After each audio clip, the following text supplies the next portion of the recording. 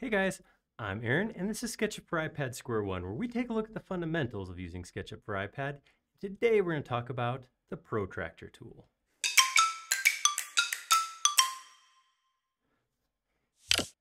The Protractor tool is another tool that lets you do multiple things with one tool. So the two things that Protractor tool is going to let you do is check the angle between two edges or two, two points or lines that you want to draw with the Protractor tool. That works too. And the second is to put guides in at specific angles. So we're to take a look at using both of them right now.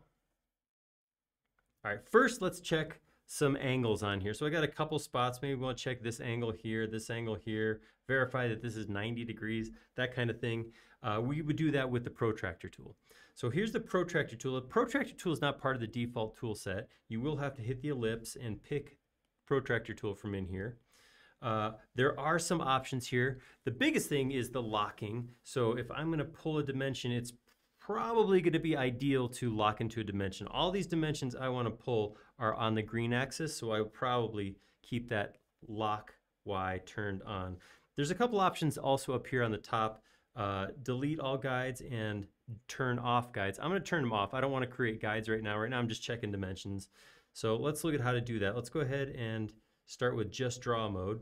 And what I'm going to do is I'm going to pick the center of where I want to, you know, center my my angle, which would be this point right here, and I'm just going to drag in one of the directions. So I'm going to click right here and drag down this line.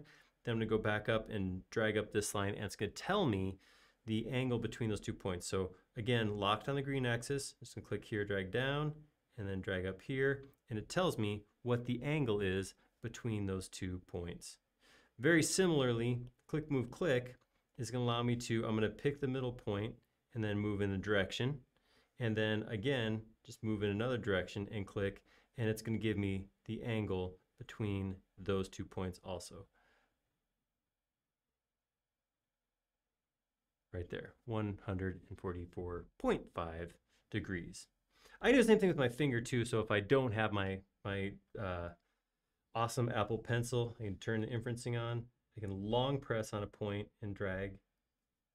And then same thing, come up. And there, sure enough, 90 degrees.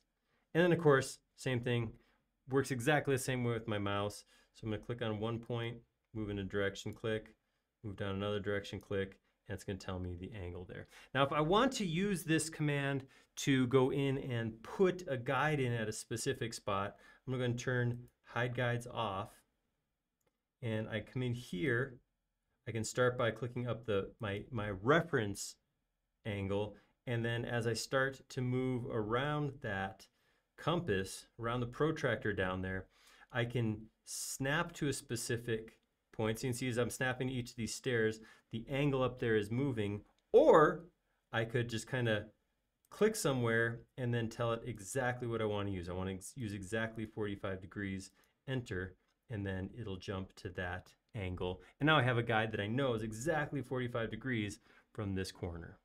And that's it. That is really all there is to Protractor. Simple. So if you like that video, go ahead and click like down below. And if you haven't already, please do subscribe. We create several videos each and every week around here, and you'll be notified of all of them if you subscribe.